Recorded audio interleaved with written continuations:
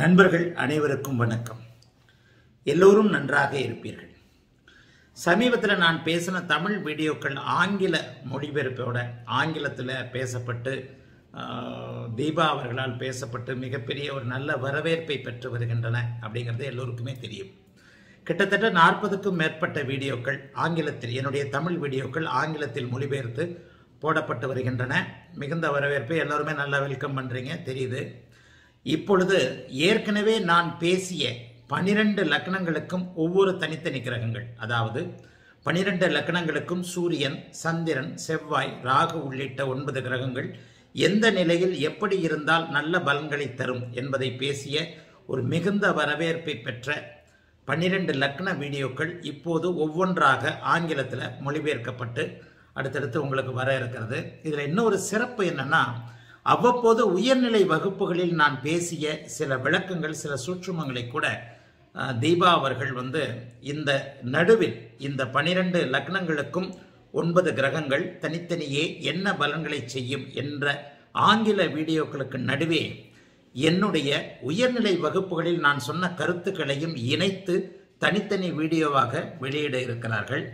வழக்கம் போலவே இந்த ஆங்கில வீடியோக்களுக்கு உங்களுடைய வரவேற்பு இருக்கும் என்பதை நம்புகிறேன் வாழ்த்துக்கள் எல்லோரும் நன்றாக இருப்பீர்கள் This program is brought to you by Guruji TV. This YouTube video is a translation of the Tamil video of a renowned astrologer Jyotish Mahaguru Aditya Guruji. The link of the original version, that is the Tamil video, is given in the description box of this video. This is astrologer Deepa and I'm presenting you the English version of the Tamil video. In my last video, I explained about the natal chart of actor Ajit. In this video, I'm going to explain the effects of moon in 12 different houses for the native of Sagittarius ascendant. For the native of Sagittarius ascendant, moon is the lord of the 8th house. Moon is Ashtamatibadi. When moon resides in the house of Sagittarius, that is in the ascendant house, as per Bhavat Bhava, it will be in the sixth house to its own house. This planetary position is considered to be good. Though the moon is the lord of the eighth house, moon is a friendly planet to the ascendant lord Jupiter. Therefore, moon will not do worse effects to the native of Sagittarius ascendant and Sagittarius Rashi. The combination of Sagittarius ascendant and Sagittarius Rashi indicates the connection of spiritualism. Since both Rashi and ascendant or Sagittarius, the native will be a very good person. Based on light energy of the moon, you have to make further predictions. What will happen when Lord of the 8th house resides in the ascendant house? You will think a lot before doing an action, and you will always have a hesitation to initiate an action, and somebody has to prod you to execute an action. Based on Subatwa and Pabatwa of the moon, these qualities will be more or less. Since moon is the lord of the eighth house, yet a friendly planet to the ascendant lord, it will not do very bad effects to the native. Now, let me explain the effects of the moon in the second house. When moon resides in Capricorn, it will aspect its own house Cancer, which is the eighth house to the ascendant. This will not deliver benefits. When Lord of the eighth house aspects its own house and strengthens it, it will not deliver any benefits other than giving longevity to the native. If the moon is Subatwa, the native will gain through share market. It will give unexpected gains and native will have connections with foreign countries. However, Lord of the eighth house should not aspect the eighth house itself.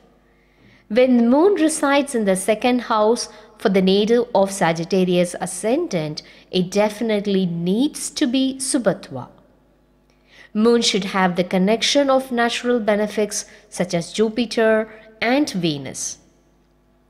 Now, let me explain the effects of moon in the third house, which is Aquarius. The third house is good for the moon. When moon resides in third house, it will aspect the ninth house to the ascendant. Moon should be Subhatwa when it resides in the third house. It should have light energy. Why do I say that when moon resides in Aquarius, it is beneficial? Since moon resides in one of the Upachaya sthanas, which is the third house, and when it resides in the third house, it aspects the ninth house. And also, as per Bhavad Bhavam, it will be in the eighth house to its own house. When moon is waxing, or heading closely towards Purnima when it has got the connection of natural benefics such as Jupiter and Venus, it is considered to be good. Moon should not have connection of Saturn or Rahu, but it can have connection of Mars here. Now let me explain the effects of moon in the fourth house which is Pisces. When moon resides in Pisces, for the native of Sagittarius ascendant, it is considered to be very auspicious because it resides in the house of benefic and attains Digbala, that is directional strength. The eighth house lord attains Digbala in the fourth house. This means that it is going to deliver all the good effects of the eighth house. Moon is going to deliver prolonged longevity and all the good house effects of the 8th house. But here it needs to be Subhatwa to deliver all these benefits. When Moon resides in the 4th house which is Pisces, both Rashi Lord and Ascendant Lord are same which is Jupiter. Based on the fact that Rashi Lord and Ascendant Lord are same for Sagittarius Ascendant and Pisces Rashi, or Pisces Ascendant Sagittarius Rashi, which is Jupiter, Moon will deliver immense benefits. And now let me explain the effects of the moon in the fifth house, which is Aries. Moon needs to have good light energy when it resides in fifth house, which is Aries. Though the 8th house lord resides in the 5th house, when moon has good light energy, it will not deliver worse effects because this is a friendly house to the moon. The house lord of Aries, which is Mars, and the moon are mutual friends and they have a very good understanding. What will happen when the 8th house lord resides in the 5th house? The first child will be female not a male child.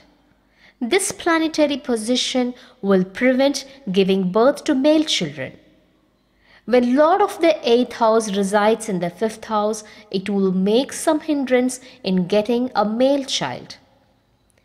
If a male child was born despite this, there will be a situation because of which the child will not call the parent as father or mother. If female children are born, there will be a lot of expenses. It will deliver certain worries regarding the children. This is the prediction based on the house effects. This is the truth. The native will experience all these. In case if the moon is Subhatwa, then the predictions will differ there will be a hindrance in getting a male child and you also have to check the status of Jupiter in the natal chart. When Lord of the 8th house resides in the 5th house, you have to make predictions based on the house effects and Subhatwa of the moon which will change the bad effects. Now let me explain the effects of moon in the 6th house to the ascendant house which is Taurus. Moon should not be in the sixth house to the ascendant house. Because when moon resides in the sixth house, which is Taurus, it establishes the connection between sixth house and eighth house. You have to remember that Venus, being the sixth house lord, should not reside in the eighth house, and moon, which is the eighth house lord, should not reside in the sixth house.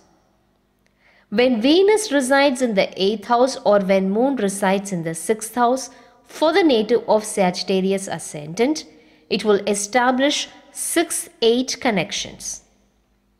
And one more important rule is the Lord of 6th and 8th houses should not be in Parivartan.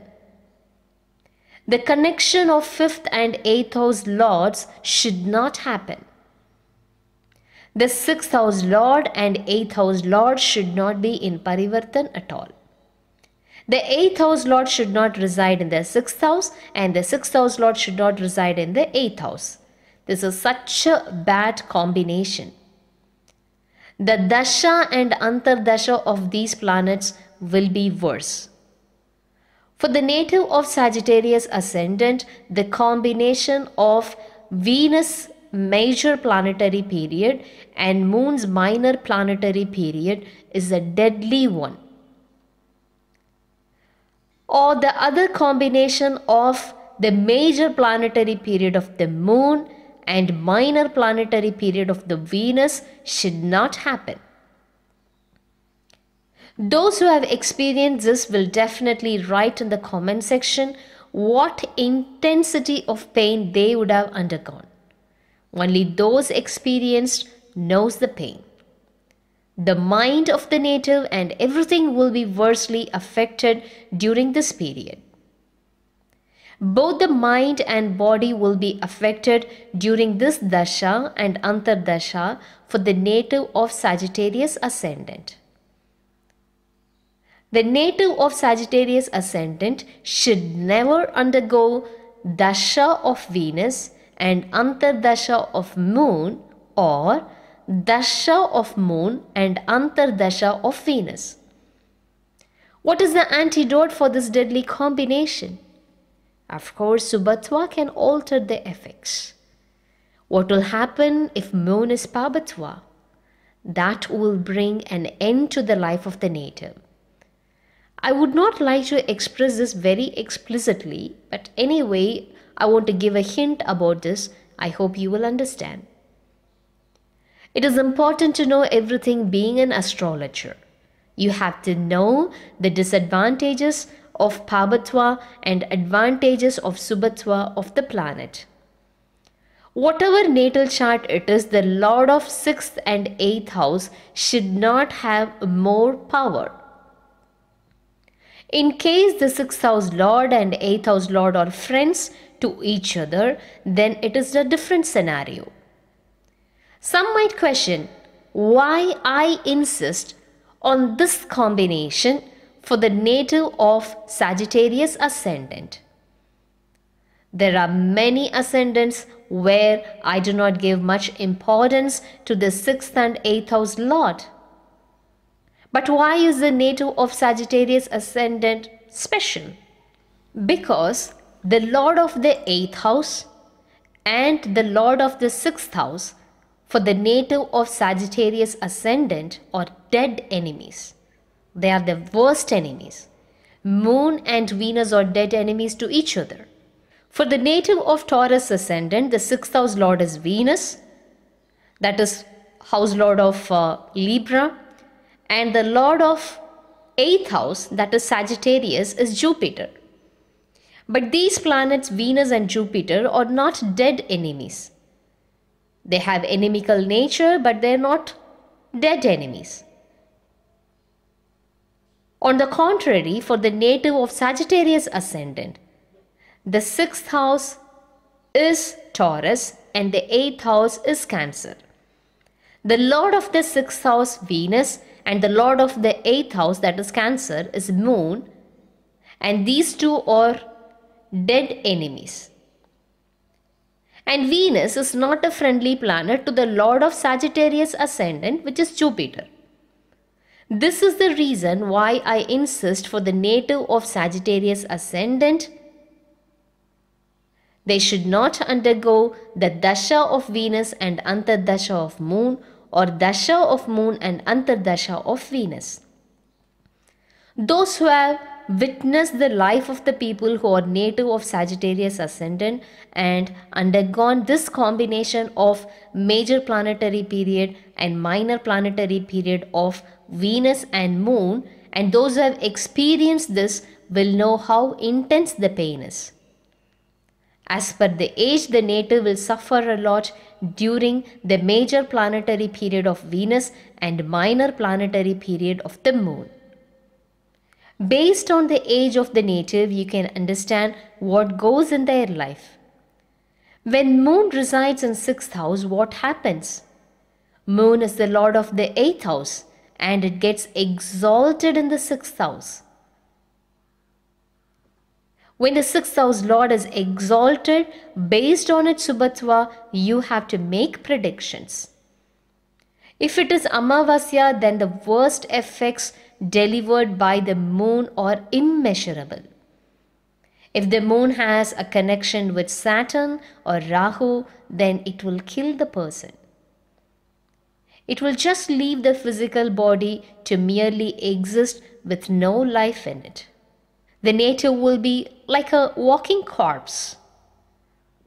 The major planetary period of the moon and minor planetary period of Venus will deliver very, very bad effects. Now, let me explain the effects of the moon in the seventh house, that is Gemini. This will affect the longevity of the native and it will give bad effects through the wife. What will happen? It will deliver debts, litigation, shame, and everything through the wife, which is the main karaka of the seventh house. It will deliver all the house effects of the eighth house, such as death, diseases, litigation, humiliation, shame, accidents, through the seventh house, which is the house of the spouse. For some people, this will happen through their friends, and for some people, it will happen through their business partners. It will happen either by spouse or friends or business partners. When moon is Pabhatva, all these will be delivered. And in case if moon is Subhatva, then the effects delivered will be completely different. The art of astrology lies in choosing the rules and applying them at the right place. Now let me explain the effects of the moon in the 8th house which is Cancer in its own house.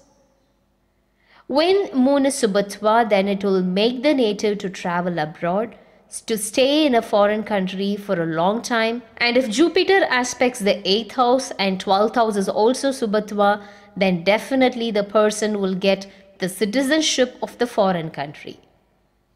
When moon is Subhatva, it will deliver the benefits of the 8th house. It will definitely give good longevity, unexpected gains, and it will deliver the good house effects of the 8th house. In case of moon is Pabhatva, the native will not be able to go abroad at all. The Subhatva and Pabhatva of the planet will deliver the effects which are at opposite poles. You have to make predictions about which house effects will be delivered by the planet based on Subhatva and Pabhatva of the planet. People get confused by not understanding the concepts of Subhatva and Pabhatva of the planet while making predictions. If you understand my concepts of Subhatva and Pabhatva, definitely you will understand the in-depth explanation of my videos. The Subhatva and Pabhatva of a planet can change the whole prediction of the major planetary period and minor planetary period of a planet. What will happen when moon stays as Amavasya in 8th house? The native will never want to go abroad or the native will go abroad and he will suffer there. When the 8th house is Subhatva, that is when moon is Purnima, the native will have great interest to go abroad. The native will wait for an opportunity to go abroad. This tendency even grow from 18 years of age. You're going to get settled abroad, you're going to earn a lot and you're going to send that money to your family members in India. All these will be delivered by Subatwa of the moon in the 8th house. Here you cannot make predictions based on the Sthana Bala of the moon. By the grace of Almighty, I have realized the concepts of Subhatwa and Pabhatwa, which are beyond the concepts of Sthana Bala and Shad Bala, and I'm able to share all these with you merely by the grace of God. Definitely, I know that the next generation who follows me is going to spread my concepts of Subhatwa, Pabhatwa, and Sukshma strength. Definitely for the future generation, my concepts of Subhatwa and Pabhatwa are going to be spoken about a lot merely by the fact that it is a great concept that helps to make 100% correct predictions. The truth never fails, it will be everlasting. The truth always lives and survives in the world. I have written about these in my books. I still wonder the reasons why Almighty chooses only few people to propagate the truth. Having said this, when the eighth house is Subhatwa, it will let the native to go abroad, and when moon is Pabhatwa, it will not let the native to go abroad, or if the native goes abroad, it will make the native suffer there. Now let me explain the effects of the moon in the ninth house, which is Leo. The eighth house lord should not reside in the ninth house. What will happen when the eighth house lord resides in the ninth house? It will spoil the status of the father, it will spoil the native place of the person, it will also spoil the house of Leo. However, when moon is Subhatwa, it will not spoil much. When moon is Amavasya, the father will be affected in a worse manner. In case moon has got connection of Saturn and Rahu, it will deliver worse effects. The Lord of the eighth house, who is a very bad person, if resides in a house, will spoil the house very badly. It will completely spoil the house. Moon will also deliver these. Since the moon is the lord of the eighth house, it will not throw a sack of bricks, rather, it will throw a sack of flowers on the head of the native. This is the difference when a malefic, being the eighth house lord, spoiling the house where it resides, and a benefic, being the eighth house lord, spoiling the house where it resides. When moon is Subhatwa, then everything will be under control. Bad events will definitely happen because moon is the eighth house lord, but when planet is Subhatwa, it will be under the control. Let me explain the effects of the moon in the 10th house, which is Virgo. The 10th house is the house of Nishbala for the moon. Though the moon loses its directional strength, it is in the house of Mercury. When moon resides in Virgo, it resides in the house of Karma, that is Jivanasthana. When 8th house Lord resides in the 10th house, it indirectly gives gains. If a native is getting a bribe, then definitely the 8th house Lord will be in the 10th house. I say this very openly to everybody. It indicates that a person is getting a bribe. The native will be cheating others. The native will not be able to say to others how he earned the money. He might be a great reputed officer, and based on the Subhatwa and Pabhatwa of the moon, you have to make predictions whether this person, post getting bribery, will be caught by the government or not. If the native undergoes a bad major planetary period and minor planetary period, he will be caught for having earned crores of money. Based on the major planetary period and minor planetary period, you have to decide whether the person who has earned crores of money in a dishonest way will be caught by the government or will suffer only a small court case. When the 8th house lord resides in the 10th house, the native will indirectly earn income that is in a dishonest way. In case moon is highly subhatva, the person will earn money through the share market where he can express his source of income to others. This share market source of income is recognized by society as a good one. It is not a cheap and dishonest income like bribery. Based on the Subhatwa and Pabhatwa of the moon, the 8th house and the 10th house, you have to make predictions. This is what all you have to understand by the connection of 8th house lord to the 10th house. Based on the Subhatwa and Pabhatwa of the planet, you have to make predictions whether gains earned or by dishonest ways or is it something recognized by the society. Now let me explain the effects of moon in the 11th house which is Libra. In general, we say that any planet in the 11th house will deliver benefits and the very same rule applies here. When moon resides in Libra, it will be in the quadrant house to its own house as per Bhavat Bhavam. Moon is not going to deliver much worse effects since moon is a friendly planet to the ascendant lord Jupiter. Therefore, the 11th house is a good position for the moon for the native of Sagittarius ascendant. Now let me explain the effects of moon in the 12th house. This is not considered to be good. For the native of Sagittarius ascendant, Scorpio is the 12th house and moon should not reside in the 12th house to the ascendant house being the 8th house lord. It will definitely affect the longevity of the native. For the native of Sagittarius ascendant, definitely moon should not be in the 12th house in Scorpio. This will affect the mind of the native, mother of the native, and moon should not be afflicted in the 12th house. Moon gets debilitated in Scorpio house. If moon is waxing and heading closely towards Purnima or when it is Purnima, and when it has got the connection of natural benefics such as Jupiter, Venus, moon will not get affected though it resides in the 12th house to the ascendant house. It is not a good position for the moon to reside in 12th house being 8th house lord without any subhatva or without having its own light energy. The dasha of the moon will not deliver any benefits when it resides in the 12th house.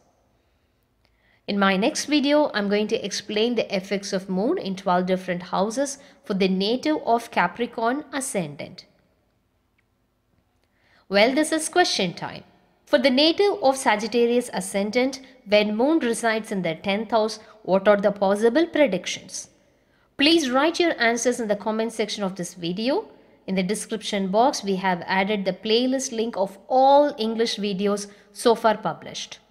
The link of Aditya Guruji's website is given below in the description box of this video that is accessible by both iOS and Android users. The link of Aditya Guruji's website is given below in the description box of this video that is accessible by both iOS and Android users. The link of Google Play Store app is also given in the description box that is available only for Android users. The Tamil version of this video is also available please check the description box. Write your feedback to astro.write to us at gmail.com. Thank you.